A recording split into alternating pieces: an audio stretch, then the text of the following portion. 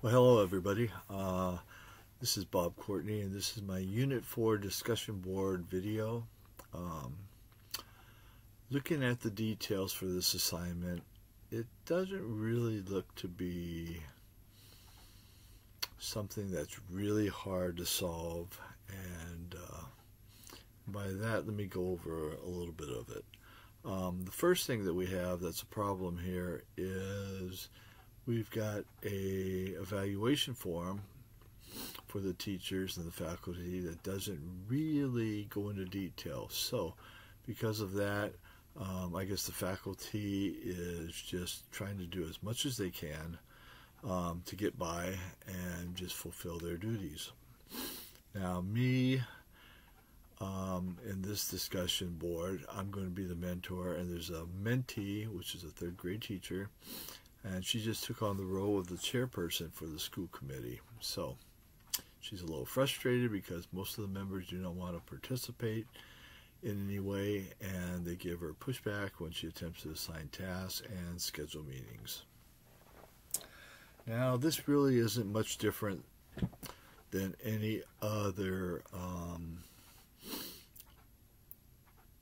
job mentor uh, for somebody. So um, let me tell you what I would do on a situation like this. The first thing I would do is set a meeting up with all the faculty to let them know who I am and that I am the chairperson and uh, what I want to do is make everybody realize we're all on the same path here.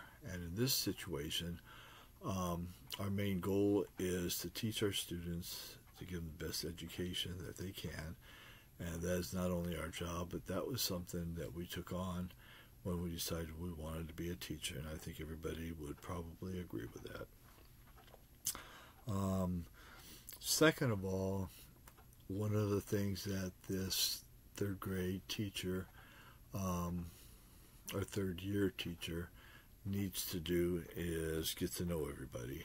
Um, by that, she can set up maybe just an email, group email with everybody involved, and have them send her a one page summary of how long they've been a teacher, what their main goals in life are, what her family life is like, what they do as hobbies, everything just to kind of get to know um, about themselves. And in the same way, she should be doing the same thing and put it out to all the faculty. Um, I think this is something that should go out as a group email so everybody can read everybody else's story, and by doing that, um, everybody can kind of get to know each other. So let's say we get that out, and a week from the time that that is turned in, um, it would be time to get all the faculty together for, say, maybe a half hour um, meeting um, once a week.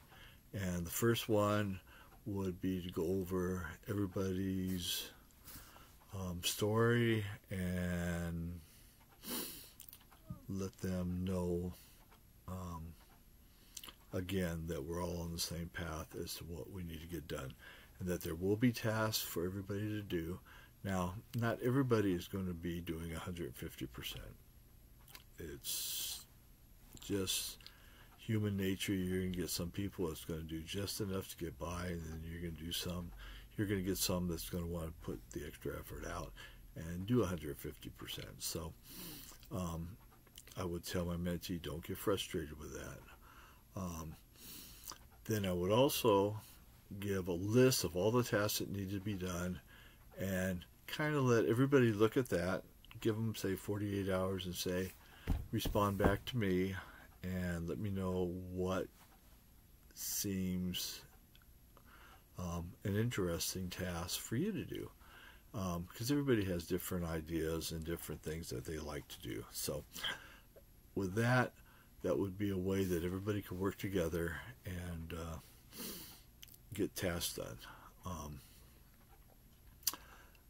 then I would, once that's put together, I would tell my mentee to let them know what is expected, and if they need help, please contact them.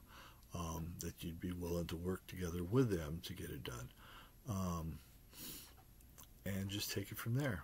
I mean, it's a group project, even though there's one person in charge of everybody. Um, the best way to get it done and is to get everybody involved and uh, make everybody feel a part of the committee, and that's the main thing here. Um, I would also schedule meetings once a week to see how things are going.